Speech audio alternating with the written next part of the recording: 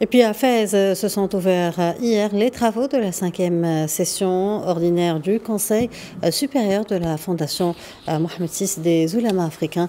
Une session tenue avec la participation de 400 de ses membres représentant 48 pays. Cette session de trois jours sera marquée par la présentation du rapport officiel des activités de la Fondation pour les années 2022 et 2023, ainsi que sur les futurs euh, projets programmés pour euh, l'année 2024 avant leur approbation.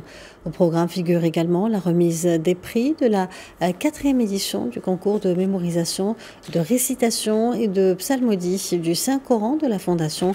Au total, 400 membres de la Fondation représentant 48 pays sont présents. Je vous invite à écouter quelques membres des sections de la Fondation représentant plusieurs pays africains.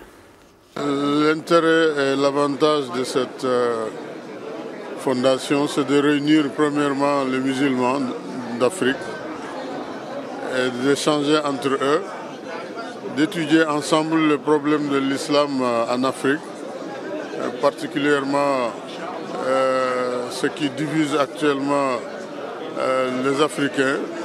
La fondation nous permet de comprendre que l'Afrique a beaucoup de valeurs.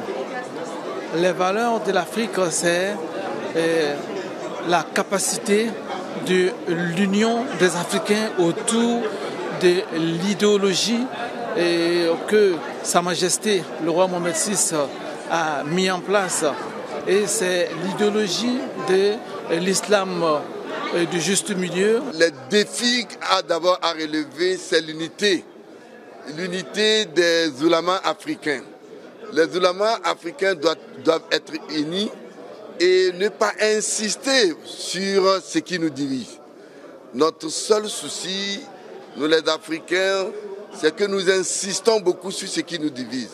Ici, nous saluons euh, cette mise ensemble de la Fondation Mohamed VI des oulémas euh, africains parce que la, la, femme se trouve, elle vient trouver son épanouissement dedans, parce que justement, la fondation porte un regard attentif à l'endroit de la femme.